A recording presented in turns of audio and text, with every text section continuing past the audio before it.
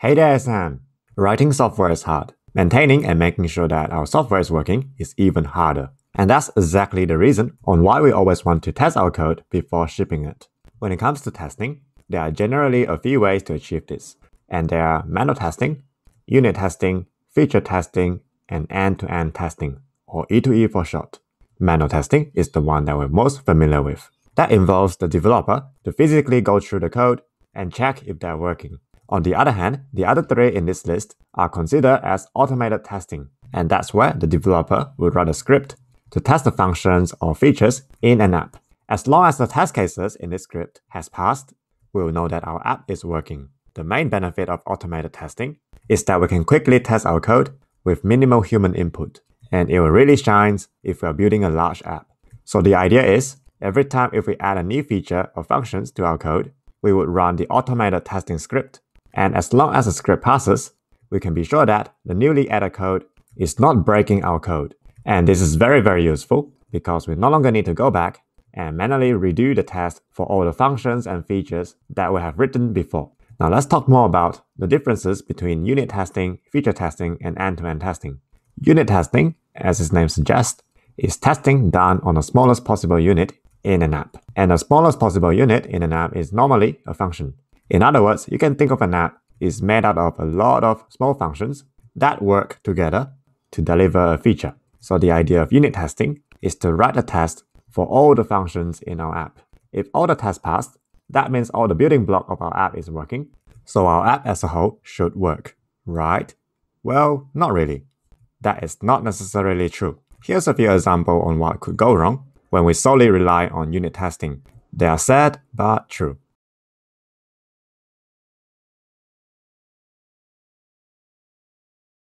Unit test is meant to be fast to execute, but not necessarily reliable. In contrast, feature testing is the notion of testing a feature in an app. Feature testing is a higher level approach compared to unit testing. It focuses more on the feature rather than making sure that each function in our app is working and that makes it a more reliable test compared to unit testing. For example, suppose we are testing for the post creation feature in our app. In the case of unit testing, we would test for something like, can we insert a title for the post? Or can we insert a body for the post? Does it accept a string, a number, or an array? Are we expecting an exception when we give it a different data type? And other smaller functions that build up the post creation logic. Now for feature testing, we'll be looking at different things. We will only care about if an operation will actually create a record in our database. So if we were to run the post-creation logic, in feature testing, we'll go ahead and fetch the newly created record in our database and verify it and see if the title and the body were inserted correctly. End-to-end testing is the highest up in the food chain. It's on an even higher level than feature testing. In a nutshell, end-to-end testing would actually mock the user interaction and test our app as it mimics an actual user. For example, if we were to test our post creation logic, an end-to-end testing will be a script that actually tries to visit the web page in our app that creates a post. The program will attempt to submit the form on behalf of the user and validate the result to see if it's actually working. And similar to feature testing, end-to-end testing doesn't care about the individual functions in our app. Instead, it'll put a lot of emphasis on the output of the app, which in our example that we just discussed it'll test if the form that we use to create the post is working correctly. End-to-end testing is highly reliable but very hard to implement. Now, in terms of reliability, manual testing has questionable reliability because it really depends on how well the tester understands how the program works, and also under the assumption that the tester did not overlook a certain feature in the app. Unit testing is not that reliable compared to the other method. And it is because even though you can make sure that every single function in our app is working perfectly, there's simply no guarantee that they'll work well together as a group. In comparison, feature testing is much more reliable because it ensures that a feature is doing what it's supposed to be doing. End-to-end testing has the highest reliability among them all because it is directly mocking the end user's behavior. In terms of speed, manual testing is very, very, very slow. And the reason is, as we discussed earlier, every time we introduce a new feature, we need to go back and retest all the features that we have done so far in order to make sure the new feature does not break our code. Unit testing is fast because it is testing small functions in our app and they are very lightweight. Feature testing is slower than unit testing because they usually involve database operations or a group of functions running together. End-to-end testing is the slowest among all because mimicking a user is very time-consuming and delicate. End-to-end testing is more relevant in front-end development, and it won't be our focus in building an API server. In the upcoming videos, we'll dive deeper into writing unit tests and feature tests in Laravel. I'll see you there. Key takeaway for this lesson Unit testing is the notion of testing the smallest units or building blocks in our app. In other words, functions. If the basic building blocks are working, then the app should work, although this is not necessarily true. Feature testing focuses on the feature and the outcome rather than the individual functions in our app. It is more reliable than unit testing, but slower. End-to-end testing mocks the end user's behavior and has the highest reliability among all. However, end-to-end testing is very hard to implement and very slow. That's it for this lesson, and I'll see you again in the next video. Hey there, Sam! The test folder in our Laravel project contains everything about testing. Laravel uses PHP Unit as its main testing library out of the box. The first thing that we want to look at is the PHP Unit XML file. This is where we set up the configuration for our PHP Unit test. Now, if you haven't worked with PHP Unit before, this file might look a little bit scary to you. Let's quickly go through the key points here. First of all, we see the test suite group here.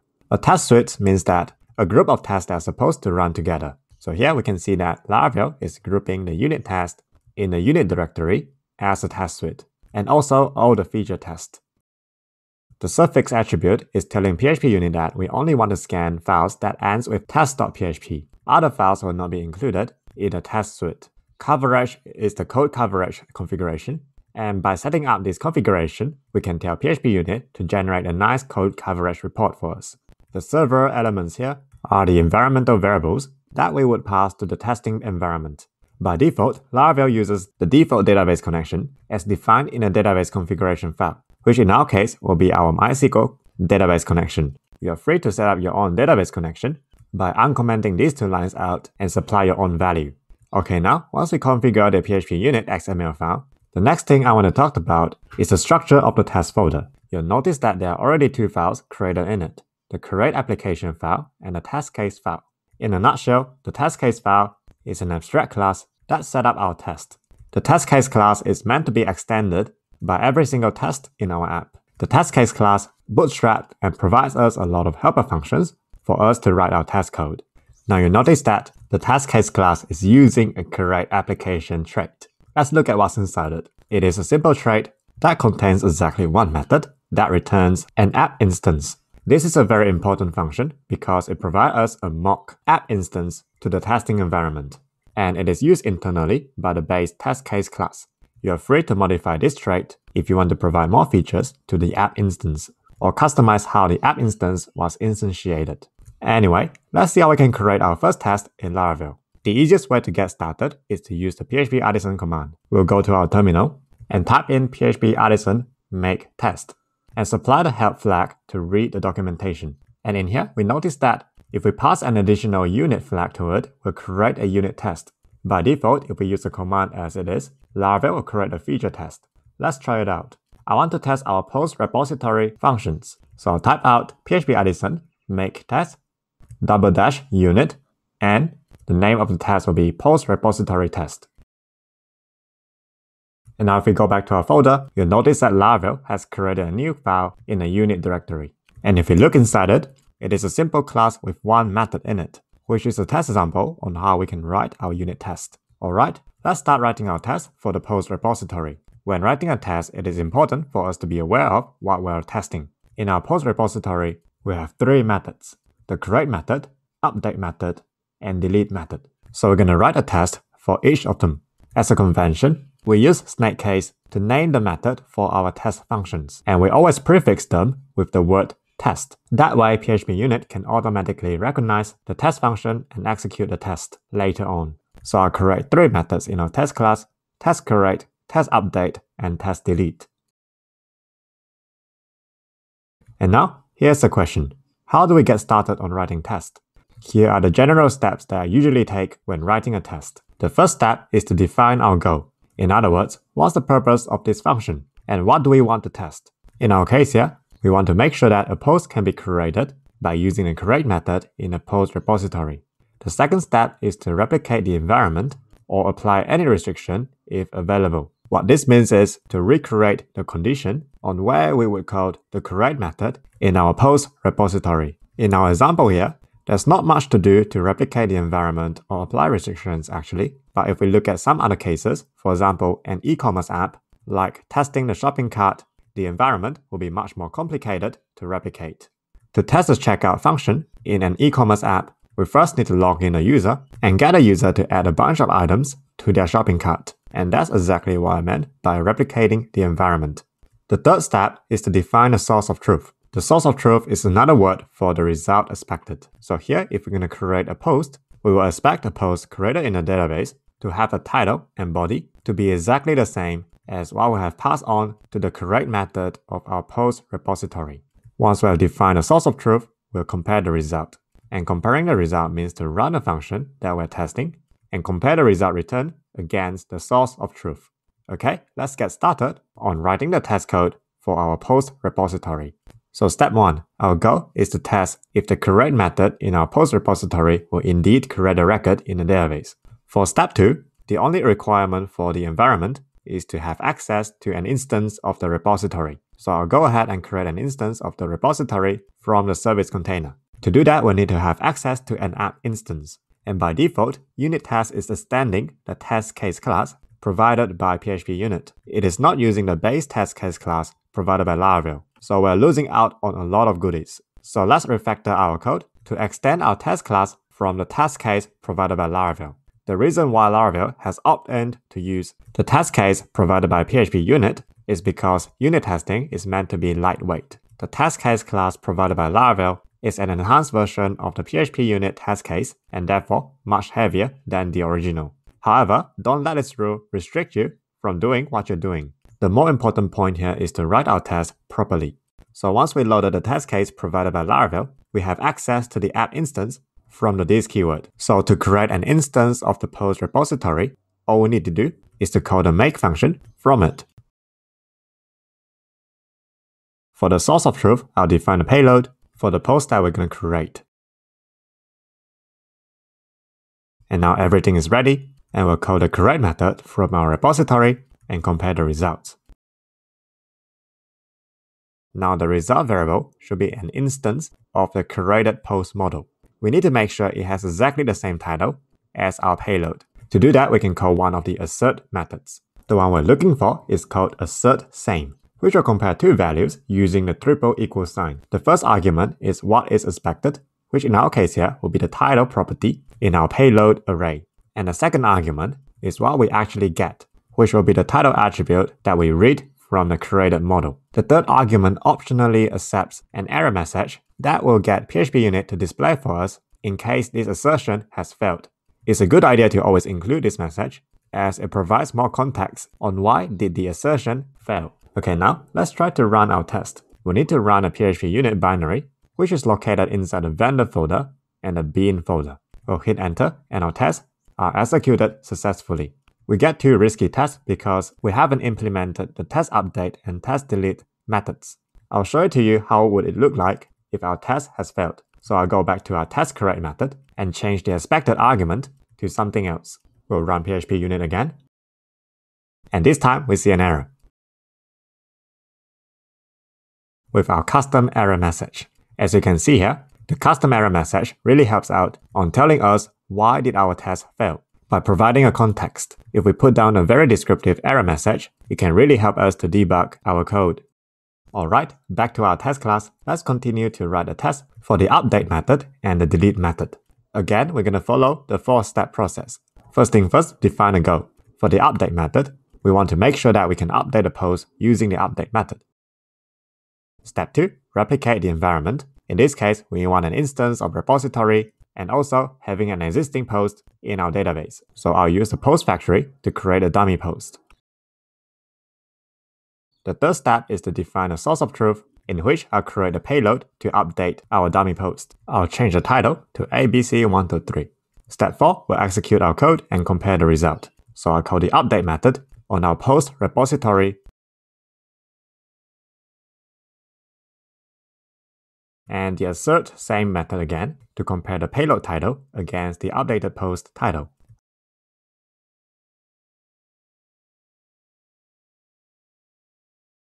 Let's run our test once again. Whoops, we get an error. And seems like the error is because our post factory is returning a collection rather than a model instance. To resolve this, I'll simply grab the first element from the result of the create method and run PHP unit again. And bam, this time our test is passing. Great! Lastly, let's finish off our delete test method before we end the lesson. Again, the same thing here. We'll define a goal, which is to test the delete method in our repository and see if it is working. For the environment, we need an instance of our repository and also a dummy record in our database. Again, we use the factory function to create a record. We don't have any source of truth, so we can just skip to step 4, which is to compare the result. I'll call the force delete method on our repository and we'll verify if our record is indeed deleted by finding the record in our database. We shouldn't find any record at this point, so the expected result is null. Let's run PHP unit. Whoops, I made a mistake. The result returned by our repository is a boolean and we shouldn't read the ID property from it. So just change it to dummy instead. Let's try again and we see all of our tests passed. Beautiful. We still need to write tests for our user repository and comment repository. I'll leave that as an exercise for you. Again, I'll share my solution in the project Git repository, so feel free to check it out if you're stuck. Now, I do want to talk about one last thing before we end the lesson. The tests that we have written so far are considered as tests on a happy path. What I mean by that is, these tests only test for the behavior when we use this function correctly. You see, everything can go wrong in a live production environment. For example, there might be a situation where the user will try to delete a post that has already been deleted. If that's the case, how do we handle that scenario? Will there be an exception? Will that exception being handled correctly? Would it break our code? To answer these questions, it is very important for us to also test these abnormal behaviors, which is also known as a sad path in testing. Typically, we will have more sad path than happy path. The more sad path that you can capture, the less likely that your code will break in production. However, it's important to note that it's impossible to handle 100% of the edge cases. The important thing is to find a good balance between finding the edge cases and the likelihood of these events from happening. Okay, let's quickly write a sad path when we try to delete a post that doesn't exist in the database. I'll create a new test function, which will test if an exception will be thrown when we try to delete a post that does not exist. The environment will be similar to our happy path test delete, so I'll just copy and paste from there and change factory create to factory make because we don't want the record to exist inside our database. And now, if we try to delete our dummy record, we will expect an error. Because based on what is written in our post repository, when a repository failed to delete a model, it will throw a general JSON exception. And to handle this behavior, Back in our test function, we should call the expect exception helper method to tell PHP unit that there should be an exception. And now let's run PHP unit again, and we get green.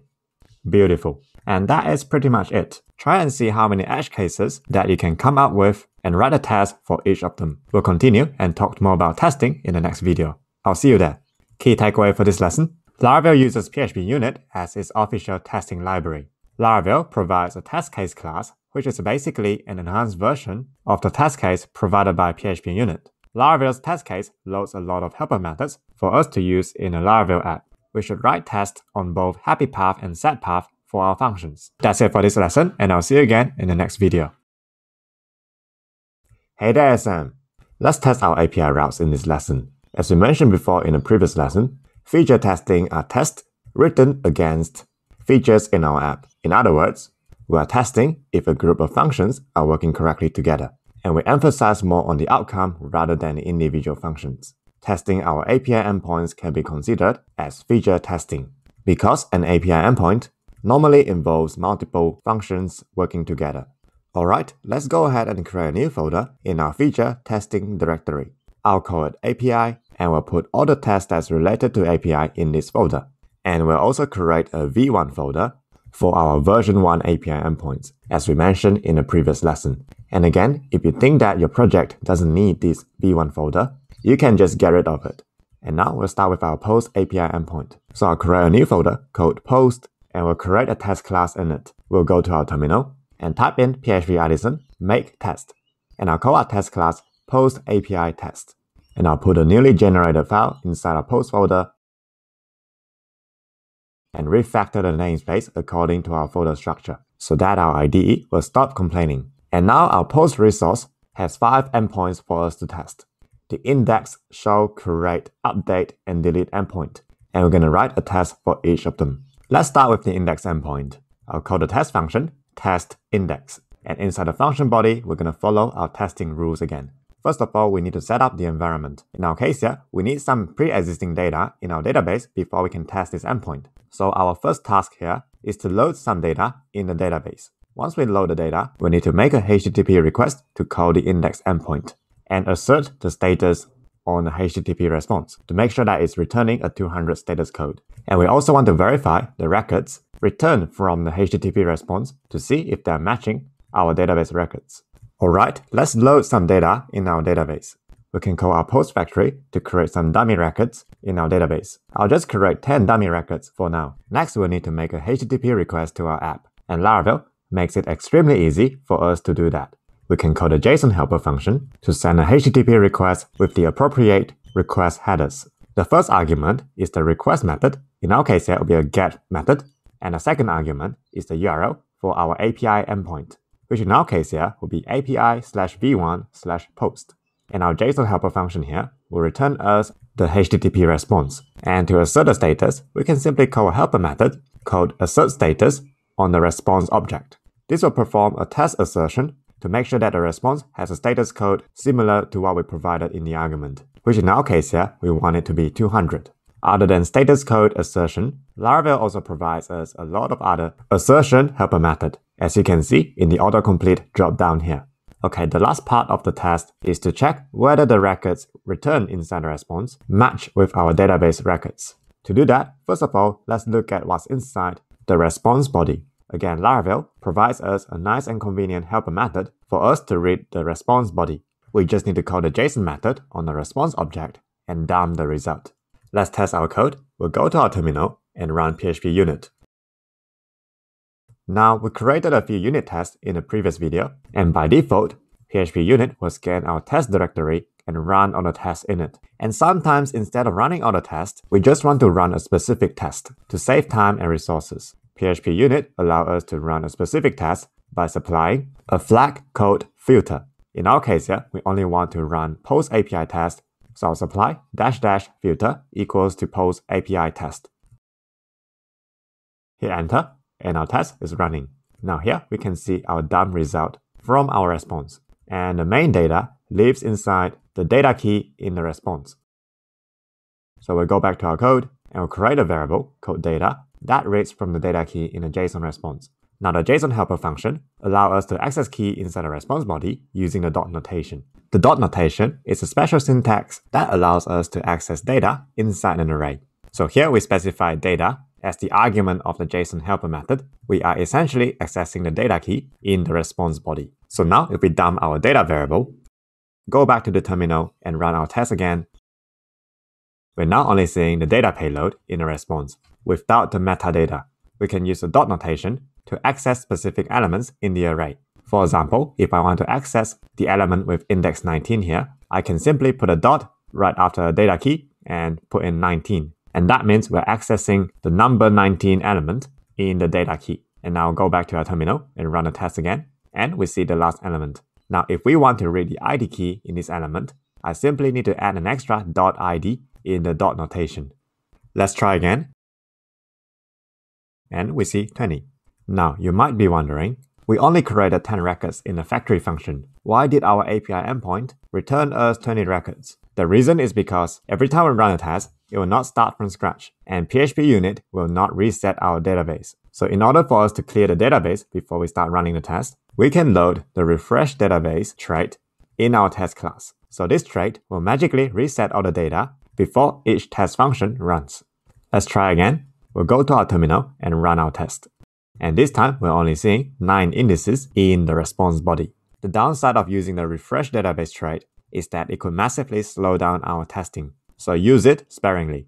A way to get around with this speed limitation is to use the in-memory SQLite as our database connection. To use the in-memory SQLite connection, we need to go to our PHP unit configuration file and uncomment our database connection environmental variable to instruct Laravel so that it will use the in-memory SQLite rather than our MySQL instance. And now let's go back to our test class and go to our terminal again, run a test, and bam, look at how fast it is. Isn't that neat? One thing to note here is that if you're using the in-memory SQLite connection, we always want to load the refresh database trait. Behind the scene, the trait will trigger the migration script and reset our database. If we don't use the trait, Laravel will throw us an error because the tables are not created in SQLite. Anyway, for now, we need to test if every post returned from the HTTP response is the same as the post that we created using the factory function. So what we can do here is to loop through the data and check if the ID of each record exists inside the post collection from the factory. So first of all, I want to map the post into an array of IDs to simplify our test. I'm using the arrow function here because we only need a simple one-liner function. And now, to verify the records, I'll convert the data variable into a Laravel collection because collection has a nicer API compared to native PHP arrays. And I'll call the collection helper method each to loop through each item in the data variable. And for each item, we want to check if the ID of the post exists in our post IDs array. To do that, we can use the inArray PHP array helper function. The inArray helper function will return true if the needle is found in the haystack. The needle in our case here is the ID key in the post data item, and the haystack is our post IDs variable up there. So to perform the test, we need to make sure that the result of this inArray function is true. We can simply call the assert true function for that. Okay, let's try to run our test. Whoops, we got an error.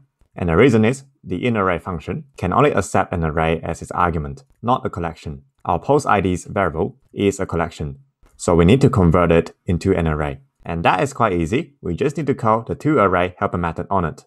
Let's try again, and we see green in our result. Great. Our tests are passing.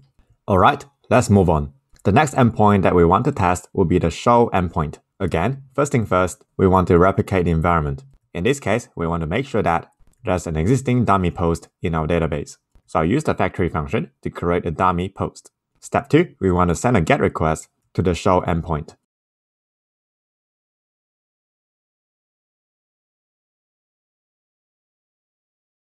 Step 3, assert the status and get the data in the response body. And lastly, we want to make sure that the ID field in the response result is the same as our dummy ID.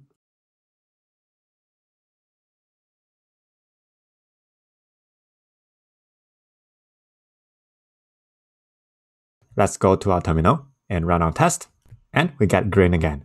That means our show endpoint is working. The next endpoint that we want to test is the create endpoint. First of all, we want to generate some dummy payload to include in the post request. The best way to do this is to use the make method on the post factory. This method will return us a post model instance without creating it inside the database. So the idea here is that we want to convert this dummy model into an array so we can attach it inside the post request body. And now let's try to send a post request. Again, we'll call the JSON method. The first argument will be the post method. Second argument will be our create API endpoint. And the third argument is the body of our post request, which in our case here will convert dummy into an array. Next, we'll do the same as before. We'll assert the status. This time the status will be 201 because we have created a new resource. And we'll get the data from the response body. Once we got the data, we want to test if the post created has the same attribute as our dummy post. So to compare the API response against the dummy model, we'll need to loop through our result, and for each key in it, we will test if it is the same as our dummy model. But before we do that, we first need to standardize our result to make sure it has the same key as our dummy model. So to do that, we'll convert result into a collection and call the only method to only include the keys that we specified and the keys will be the keys of the attribute of our dummy post. So now once we got our standardized result, we will loop through it and make sure each value exists inside our dummy model. So in each iteration, we'll call the assert same method, and for the expected value, we'll get the value from our dummy model, and the actual value will be the one inside our result. Okay, let's test our code. We get green again. Beautiful. Now if we go to our post controller, and inside the post repository, as we define in the create method, every time we create a new post, we will emit a post created event. Let's also test this behavior. Laravel makes it easy for us to test if an event is dispatched. To test this, we first need to call the fake method from the event facade. Calling this method will actually stop Laravel from dispatching any event whatsoever in the app. Laravel will instead capture this event and enable us to perform assertion on them. I'll show you what I mean. So after we have sent our API request, the post-created event, in theory, should have been captured by Laravel at this point in time. So we can simply call another helper method from the event facade, which is called assert dispatched, and will pass in the event class name in it. This assertion function will only work if we have already called the fake method beforehand. Alright, let's run our test, and we get green again. Okay, let's move on. Let's write our test function for the update endpoint. For the update test, first of all, we want an existing data in our database. So we're going to use the factory create method to correct a dummy record. Our objective here is to update this dummy record. And to do so, we'll need some dummy field as our update payload. The easiest way to do this is to correct another dummy record by using the factory make method. And now to update our dummy post, we need to know what fields can we update. One way of doing this is to call the getFillable method from a post instance. The getFillable method will return us a fillable array as we define in our model. I'm converting it into a collection because collection is much more easier to work with compared to array. So the getFillable array will essentially return the fillable property as we defined in our post model. And now we want to try and update our dummy record with these variables. So let's look through our variables, and for each of them, we will send a patch request that updates our dummy record. So we'll call the JSON method again. Method name will be patch. URI will be slash API slash v1 slash post and our dummy record post ID. For the request body, we will specify which field that we want to update. So the field name will be our to update variable, which is one of our variables. And the value of it, we'll get it from dummy2. Dummy2 has different values, and we want to test if dummy1 has the same value as dummy2 after the patch request. So after the patch request is made, we want to assert the status to be 200 and also get the data key from the response. Once we got the result, we can perform the assertion right away. So I'll call the assert same method. The expected will be the dummy2 value, and the actual value, we will get it from dummy1. Now since we have updated dummy1, we need to call the refresh method on our variable to get the latest model, because our variable here is still referring to the model before the update. Okay, let's run our test, and we get green again. Great! The update method will also emit a post-update event. Let's also quickly test if our event is dispatched correctly or not. Again, we'll call the fake method on the event facade, and right after we send a patch request, we'll call the assert dispatch method and pass in our post-updated event class. Run our test again. All green. And now we just need to write one more test and we're done. Let's test the delete endpoint. And the idea here is that we'll first correct a dummy record and send a delete request to delete this dummy model. And as usual, we want to test if the status code is 200. Now, after this, the database shouldn't have this record anymore. So if we try to query for this dummy record by using the find or fail method, we would expect an exception. So just before the query, we would call the expect exception method, and the exception that we would expect to throw would be model not found exception. Let's run our test. And it's working. Now the delete endpoint will also dispatch a post-deleted event. Let's quickly test that as well. So I'll call the event fake method and also event assert dispatched and pass in post-deleted. Let's run our test again. And it's all green. Getting green testing result is one of the most rewarding experience when it comes to writing tests. As long as you're writing good tests, you can rest assured that your app should work most of the time. there are still a lot of tests can be added to our test suite, especially sad path testing, to handle edge cases and catch potential bugs. Try to think of some other test scenario where you can improve the reliability of our test, and let me know your ideas in the comments below. Now we still need to write our test for our users endpoint and comments endpoint. I'll leave that as an exercise for you. Again, the solution will be posted in the project repository. We'll learn more about testing as we continue in this series, and I'll share a few more tips in the upcoming videos. I'll see you there. Key takeaway for this lesson. Providing the filter flag to PHP unit allow us to run a specific test. Calling the fetch method from the event facade stops event from dispatching in our app. And it also allows us to capture and assert event dispatching. Laravel provides us a handy JSON method to test our API endpoints. That's it for this lesson, and I'll see you again in the next video. Hey there, Sam. So far, our current workflow of writing a test is to write our code and manually triggering PHP unit in our terminal. And this process can be quite tedious, especially when we got a million tests to write. Every time we finish writing a test, we have to go back to the terminal and rerun the test. It would be great if we got a way to automatically trigger PHP unit as soon as our code changes, without us manually go to our terminal and rerun PHP unit. So the question is, is there a way to do this? And the answer is, hell yes. Otherwise, I wouldn't be making this video. So that's actually a PHP package called PHP Unit Watcher. And as the name suggests, it will watch changes in our code and run PHP unit whenever our code changes. I'll show you how it works. First of all, let's install it. We'll go to the package repository and look for the installation instruction. The link is in the description if you want to take a look at it yourself. We'll copy the installation command and paste it in our terminal to install the package. Notice the double dash dev flag here. We're installing this package as a dev dependency because we only need it for development purposes, not for production. Alright, now that's done, let's see how we can use this package. Based on the documentation, we simply need to type in PHP unit watcher watch in our terminal. Let's try this out. The PHP unit watcher binary is living inside the vendor folder, the bin directory. This binary file should be automatically added by the package once the installation is completed. If you don't see this binary, that means you have an issue with the installation and you should reinstall the package.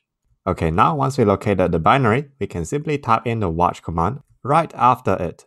And bam! PHP Unit Watcher is now running, and it is watching our source code. But somehow I've got lots of errors here. Let's pretend they are not there. We'll come back to it later. For now, I just want to show you that PHP Unit will be rerun by PHP Unit Watcher whenever our source code changes. So I'll type in T to filter out our test, and I'll type in our example test here just for demonstration. And now I'll go back to our code and add another line of some stupid assertion, go back to our terminal, and PHP unit has now been re-triggered. So we can see there are five assertions. Four of the assertions are from our example test here, which is part of the unit test. And the other one assertion is from the example test counterpart in the feature testing folder. Great! So that's how PHP Unit Watcher would work and save us time by rerunning PHP Unit automatically. And now it's time to fix the error in our test. Let's rerun PHP Unit Watcher. We've got 10 errors. Let's see what does the last error says. The error was thrown in the user repository, and it says that we're missing the users table. Let's go to our user repository test. Hmm, seems like the error exists because we did not use the refresh database trait. If the refresh database trait is not loaded, that means Laravel will not perform the migration and therefore our user table will not be created. So let's load our refresh database trait and go back to our terminal and PHP unit is already triggering. Boom, we're down to 7 errors instead of 10. The next error is in the post repository and I suspect it's the same issue. Let's go to our post repository test and load the refresh database trait. Back in our terminal, we're down to 4 errors. The next one is in the comment repository and we will do the same.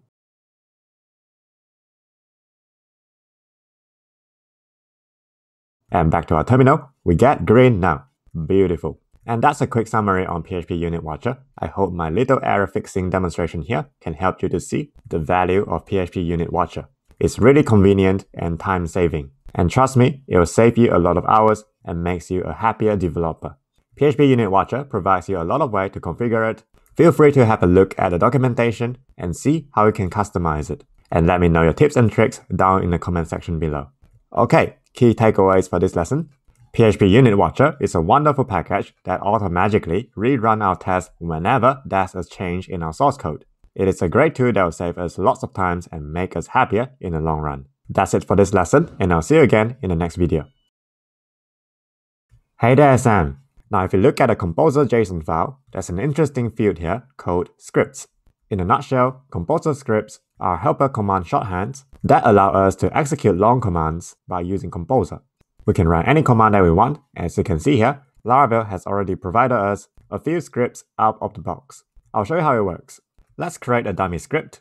I'll call it playground, and the value will be an array of command. Now, just for demonstration, I'll simply type in an ls command, which will just list all the directories in my current folder. And now if we go to our terminal, to run our playground script, I'll simply type in composer run script and our script name, which is playground.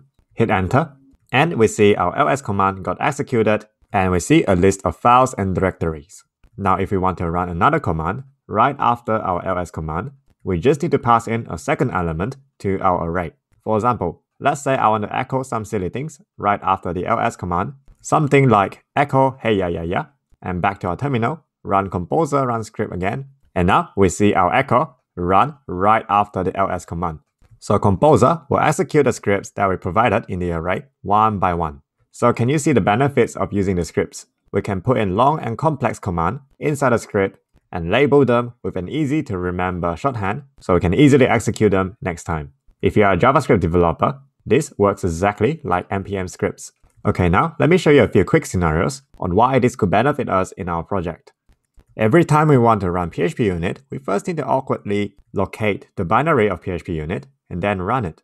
Now instead of doing that, what we can do is to wrap this command into a composer script. I'll call the script name test. And since we're only executing one command, we don't need an array this time. We'll just simply run the binary of PHP unit.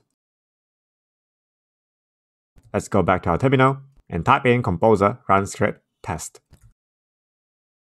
And it works. So the next time when we want to run our test, we don't need to locate the binary of our PHP unit anymore. Now here's another issue though. Sometimes we want to pass arguments to the underlying command in our script. For example, I would like to pass a filter flag to PHP unit. If I do that as it is now, it will not work. To resolve this, we need to pass in an additional double dash right after our script. After the additional double dash, we can pass in any arguments to the underlying command as usual. Let's hit enter, and the filter flag is now working. Another example, let's also create a helper script to run PHP unit watcher. I'll call the script name test colon watch and the value is simply a path to the binary. And now let's go back to our terminal and run our script. Oops, I made a mistake. I forgot to add the watch option. Let's try again. And it's now working. Beautiful. So you can pretty much write anything you like for Composer script. In some of my past projects, I have added a script called deploy, which is a nice and simple way to deploy my app to the production server. The actual deployment script is very complicated and I don't want to run the whole thing every time I want to deploy my app. So I just simply create a composer script that will trigger the whole deployment process for me. Alright, that's it. If you want to learn more about Composer Script, feel free to visit the documentation. Again, the link is in the description. Key takeaway for this lesson. Composer scripts are handy shorthands that allow us to define and run complex commands. If we want to pass arguments to our scripts, we need to supply an additional double dash after the script name. That's it for this lesson, and I'll see you again in the next video. Hey there, Sam. In programming, there's a development style called test-driven development. TDD for short. In simple terms, it means to write our test before we write our code.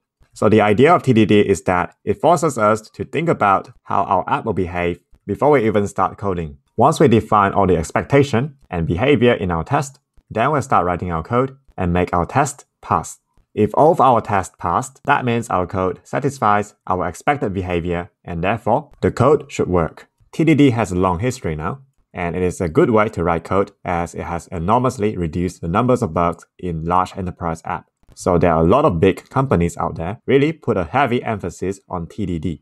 I'll show you a quick example on how TDD would look like in practice.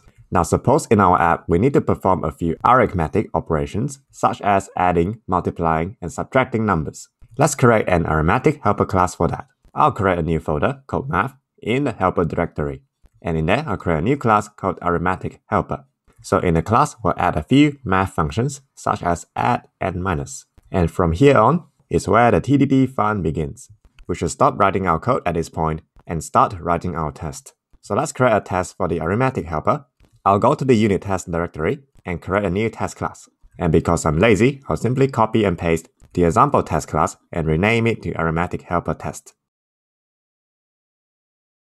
Once we're done, let's start testing our add function. We need to think about what sort of behavior will the add function have. Again, there are two types of testing, the happy path testing and the sad path testing. So for the happy path testing, I'll start with the most obvious behavior, which is to test if we can add numbers together. Now when I'm writing tests for TDD, I like to first write down all my test cases before I start writing the test code.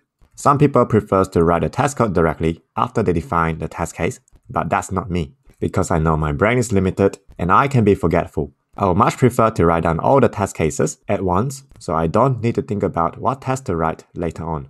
The test cases that I listed here also serve like a to-do list for us to complete this test class. Alright, let's keep going. For the second happy path test, we would test if the add function would take in multiple arguments. Now for the sad path, I will test if the add function can only take in numeric arguments. So if we try to feed it non-numeric arguments, such as array or string, it would throw us an error. And our add function should also accept at least one argument. If the user did not pass in any argument to it, it should throw us an error. Alright, I think that's enough. Let's start writing our test code. First thing first, we'll run our PHP unit watcher. So PHP unit will run our code while we're writing our test. So let's go to our terminal and we'll run the composer script that we defined in the previous lesson. We just need to run the arithmetic helper test, so I'll pass in a filter argument.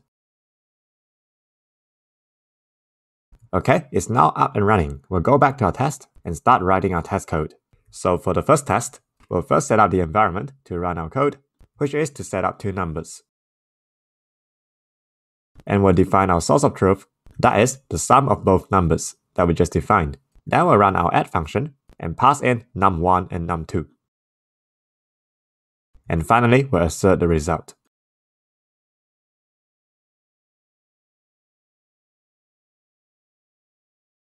It won't work at the moment, as you can see here in the terminal, our test is failing because we haven't implemented the logic in our add function. So let's start doing that. The typical TDD approach would be writing the minimal code so that our test can pass. So let's go to our add function. Even though that I know the add function needs to take in an arbitrary numbers of arguments, but in order for us to pass the first test, I'll just make it to take in two arguments for now. And the add function will simply return num1 plus num2. And back to our terminal, we can see that our test is now passing. And now we move on to the next test. This time we want to test if our add function can take in multiple arguments. And logically, we know that our code at the moment will not be able to handle this because we have only written the bare minimum to let the first test pass. But that's the principle of TDD and we have to see through it. For now, let's write the code for the second test. I'll copy the setup from our first test and add a new number.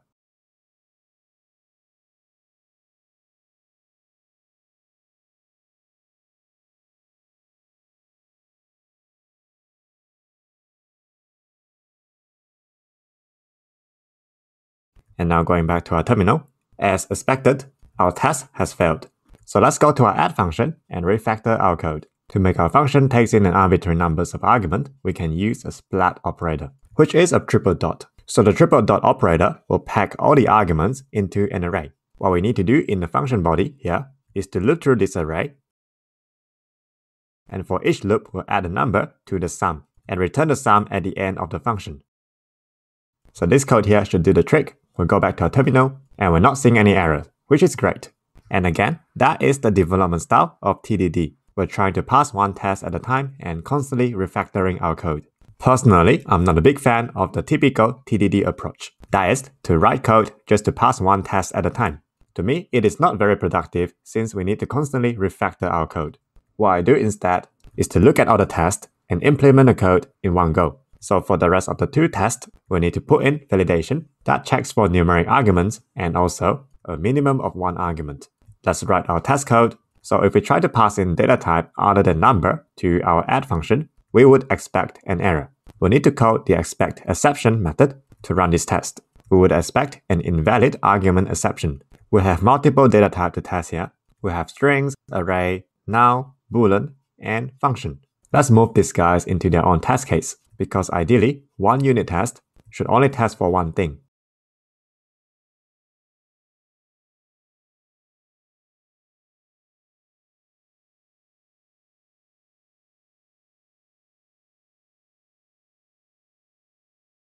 Now that we have finished writing our test code, let's go back to our terminal and we see failures as expected. So let's go to our add function and we'll add a check to check for the type of the number inside the for loop. If the number is not a float or an integer, then we'll throw the invalid argument exception.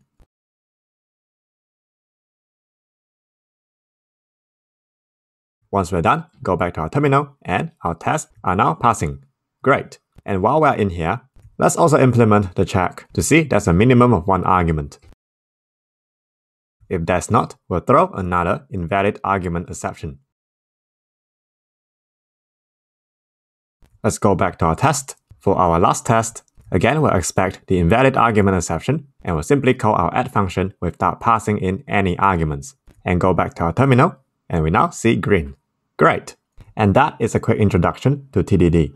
Although our example here is quite trivial, but it demonstrates the process of TDD, and I hope that it gives you a better idea on how TDD looks like. We still have the minus method to test on. I'll leave that as an exercise for you. Again, just a personal opinion before we end the lesson. The standard process of TDD can be time consuming, and sometimes they can be quite distracting. I tend to define the test function first, then I write my code logic, and then the test code. It works great for me, but it might not be suitable for you. So feel free to find your own way to write test. Key takeaway for this lesson Test driven development, or TDD for short, is the idea of writing tests first and write the code later. In standard TDD, we would write a bare minimum code to pass our test and refactor our code as we progress to the more advanced tests. That's it for this lesson, and I'll see you again in the next video. Hey there, Sam. So in the previous video, we learned about testing, and there are generally three types of test.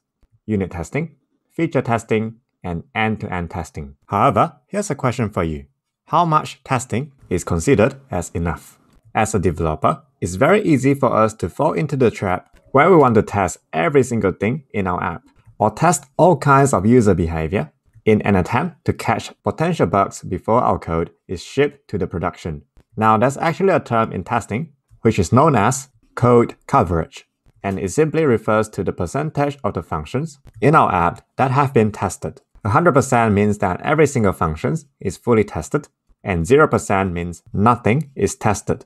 Realistically speaking, for most projects, aiming for 100% code coverage is very, very difficult. The reason is because developers are very expensive. 100% code coverage means that the development team has to spend a lot of time writing tests, and the company has to pay for that. You see, a lot of business people think differently than developers. To developers, Testing can really help to reduce bugs and be able to ship a robust app, and also reduce a lot of maintenance work in the long run. However, to a business person, writing tests is not productive, since we're not introducing a new feature to the app. In other words, writing tests does not bring any economic value to them. Think about this. Have you ever heard a salesperson tells you, our product has 100% code coverage and we have written a lot of unit tests to make sure that our software is working correctly? Very unlikely, right? If your answer is yes, leave a comment below and tell us the story. I would like to hear more about that. In contrast, you're more likely to hear about the app features rather than unit testing in a sales pitch. To a customer who is paying for the product, a bug-free app is a given. That's why hearing about the 100% code coverage does not bring any value to the table. And that's the reason why you hear a lot of stories about stakeholders and developers fighting against each other. A lot of projects has very limited budget and simply do not have the time to run any test. I strongly discourage shipping code without writing any test, because it is like walking on a street naked. As a general rule of thumb, a good project would have 60 to 80% of code coverage. Again, this number is just a rough estimate. It really depends on what type of projects you have.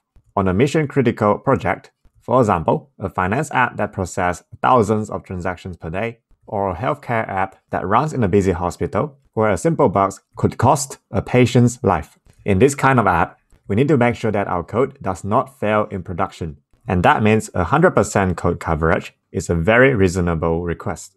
On the other hand, if you're just building a simple static website, writing tests becomes optional. So my advice here, to answer my original question, how much test is enough for a project, I would say you need to find a good balance and think about the budget of the app. The more tests that you can write, the better it is. Writing a little bit of test is better than writing none. And now, given that we have limited budget, which type of test should we focus on? End-to-end testing, feature testing, or unit testing? Now, before we answer this question, I want you to spend a few moments to take a look at these few examples. These are the perfect example of someone who only focuses on unit testing. Don't get me wrong, unit testing is important, but making sure that our feature would work correctly is equally important. In the previous lesson, we talked about the reliability and the difficulty of implementing these three types of tests, with end-to-end testing being the most reliable, but the most difficult to write. Unit testing is the easiest and the quickest, but not very reliable. What I want to point out here is that if your project has a budget issue, I would prefer writing end-to-end testing and feature testing over unit testing, focusing on testing interface rather than the implementation details. And that's exactly the point of feature testing. Don't sweat the details, but to look at the overall picture. If everything works on a high level, we can assume that the internal implementation is working correctly. And one last question before we end this video. How much time should we spend on writing tests? If you remember from the last video, we did a demo on testing some mathematical functions. The add function that we're testing is only about 15 lines of code, but the test for it is a massive 70 lines of code, which is around 4 to 5 times. To answer this question, again, my advice is to find a good balance on spending time writing tests. The standard TDD approach is time consuming by nature, although it'll save you a lot of maintenance time in the long run. If the project has limited budget, then I would say to only use TDD on features, rather than every single unit of functions. And just for your reference, on average, I spend about 30 to 50% of the project time writing tests. And again, depending on the nature of the project, this number can change. Okay, that's enough of me talking. Again, the purpose of this video is just to share my opinion on the topic of testing in the real world. Let me know what you think in the comments below. I'll be happy to hear about them. That's it for now, and I'll see you again in the next video. If you enjoyed the content of this video, don't forget to hit the like, subscribe, and the bell icon for more content to come. It will really help me out. Thanks for the support.